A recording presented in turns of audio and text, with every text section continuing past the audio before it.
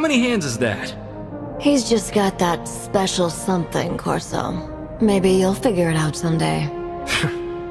Better ways to spend my time.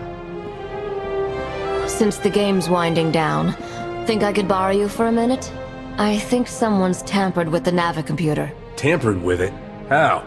I couldn't begin to guess. Every time I put in a course, it replots it to a planet at the very edge of the Outer Rim. Rishi. Rishi? The pirate hideout? So I've heard. It's not that we couldn't make some credits in that type of setting, but I prefer to have a choice in the matter. Can we fix the thing? Already done. But someone wants us on that planet.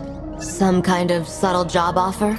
Or a trap. Either way sounds like more fun than another hand of sabacc. Let's find out what Rishi has in store.